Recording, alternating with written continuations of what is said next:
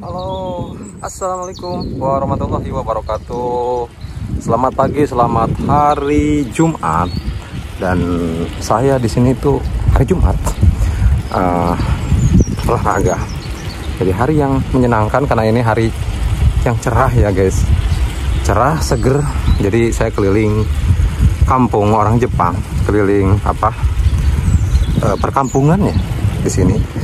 Hijau, banyak tanaman sayuran ya.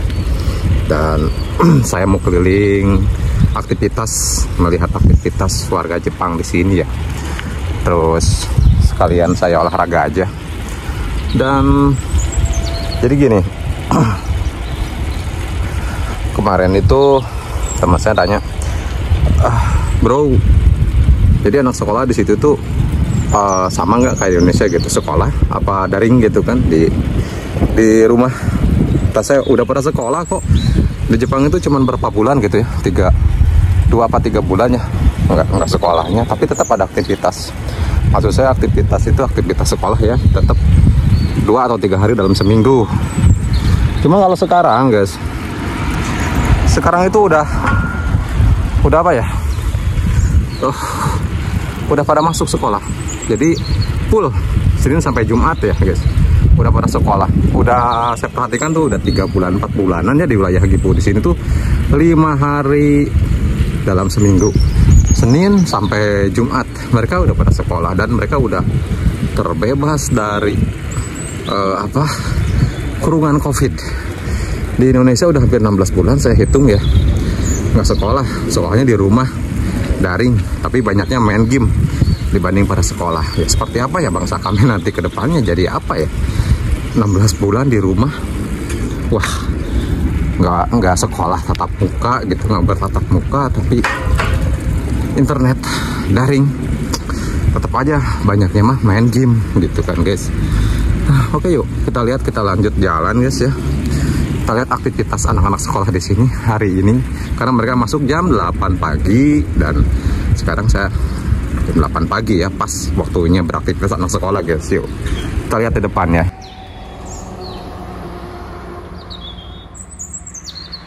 ini anak sekolah guys pada nyebrang ya.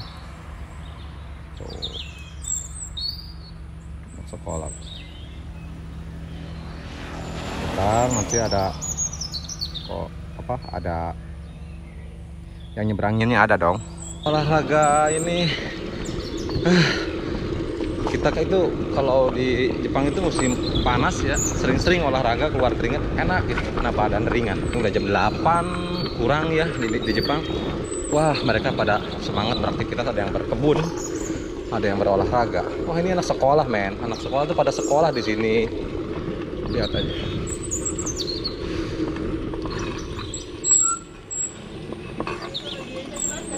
Ayo aja mas, ayo aja mas.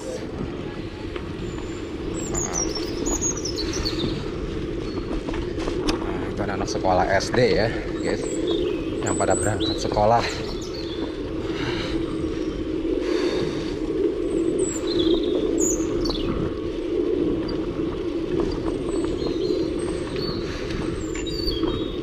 Anak-anak SD itu di sini itu berkumpul di satu titik kumpul. Lalu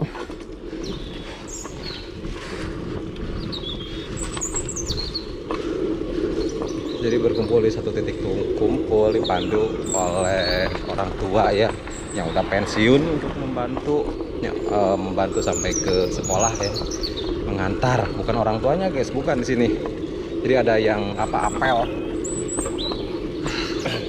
depan saya ini pada berangkat sekolah ini. Diantar sama guide-guide-nya ya. Bukan orang tuanya bukan guys.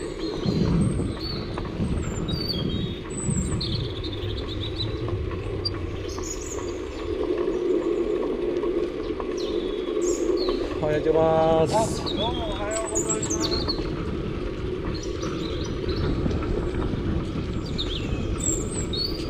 mas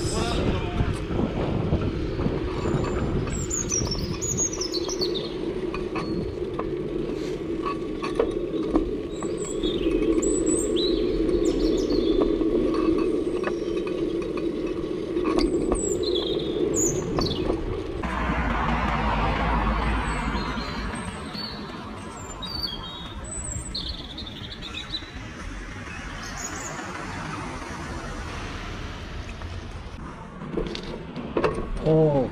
oh.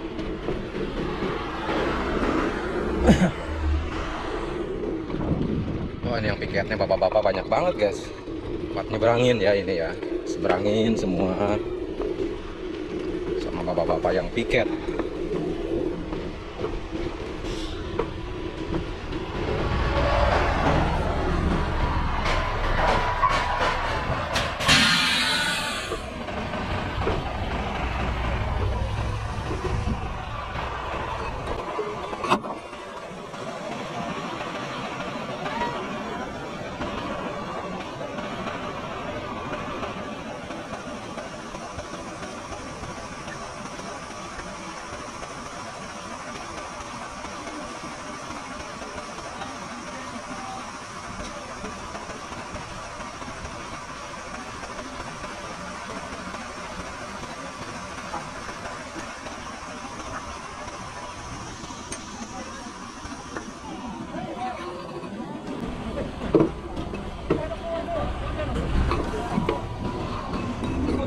お邪魔します。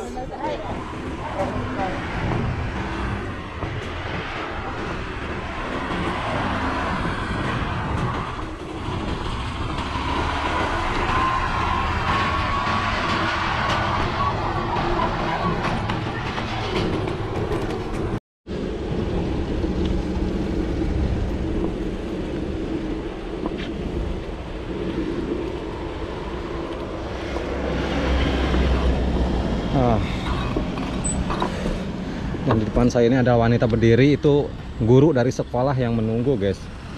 Dia itu menunggu muridnya yang lewat nyebrang untuk membantu menyeberangi. Tapi ini itu guru dari sekolah SMP ya. Dia membantu menyeberangin. Dia tuh pakai plat hijau di tangannya. Lihat aja itu tuh. Ada dua kanan dan kiri. Nah, itu murid-murid apa guru-guru sekolahnya, guys.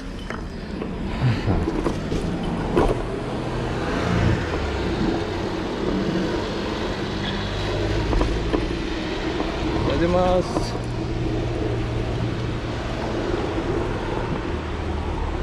Di sini tuh udah normal, guys. Senin sampai Jumat udah sekolah di Jepang itu ya. Ini di depan saya itu yang bawa sepeda ini anak SMP, guys.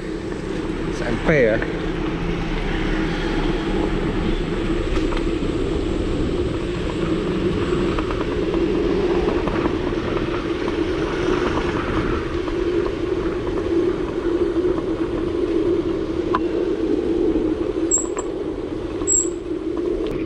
Nah, di depan saya anak kecil doang mau pada sekolah berangkat ya. Wow. Ayo gozaimasu.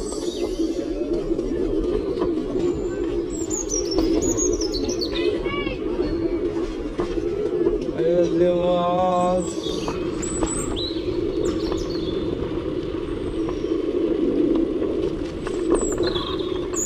Ayo gozaimasu. Oh, pada semangatnya guys anak sekolah di sini. Saya sedih untuk ya di negeri 62 ya di Indonesia itu. Udah hampir 16 bulan ya. Mereka tidak sekolah. Seperti apa nanti kan kebiasaannya? 16 bulan biasa daring ya. Di rumah sekolah nggak sekolah gitu. Biasa main game. Terus nanti sekolah lagi aktif lagi. Sifat malasnya pasti ada. Kasihan mereka nggak mau dong sekolah. Malas. Aduh. Kemarin aja nggak ada covid sekolahnya anak siswa-siswa Indonesia itu kerjanya tuh sekolahnya itu banyak yang tawuran nongkrong kabur ya. Mabal ya sekolah. Apalagi udah dikasih libur. 16 bulan guys. Ini anak, SMP ini. Yang tadi itu -anak SD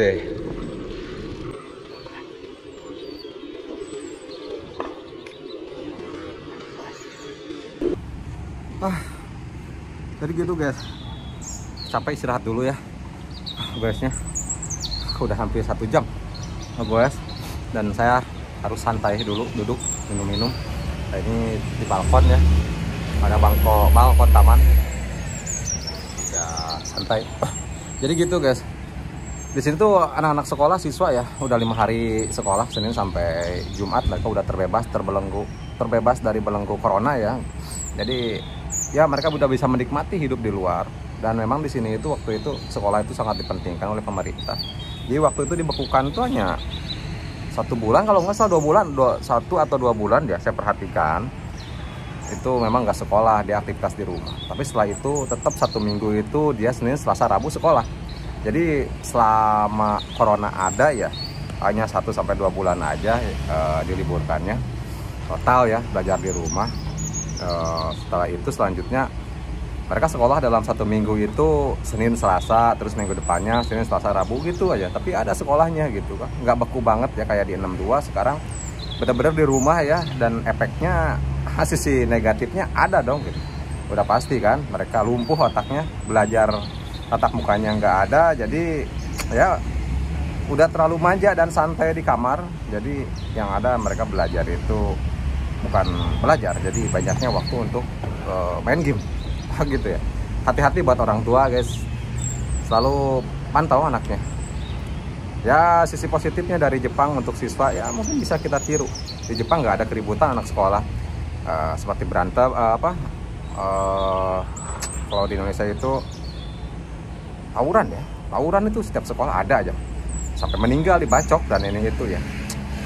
Gila sekarang ini bukan zamannya kerajaan ya zaman perang. Zaman itu masih masih feodal.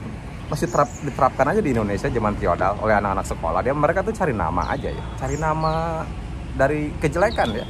Cari nama dari kejahatan ya. Sayang otaknya tuh nggak sampai ke situ. Tapi ya sisi positif Jepang nggak ada kayak gitu. Anak-anaknya nurut sama atasan anak-anaknya nurut siswanya itu nurut sama senpai ya sama sama guru sama orang tua sama pengawas sekolah. Jadi mereka nggak berani melanggar. Jadi nggak ada keributan. Mereka sekolah ya sekolah aja gitu. Oke guys saya mau lanjut lagi guys hari ini. Oke semoga kalian selalu sehat selalu bahagia selalu dikasih kebugaran badan anda. Selalu berolahraga jangan lupa oke guys? Yuk assalamualaikum warahmatullahi wabarakatuh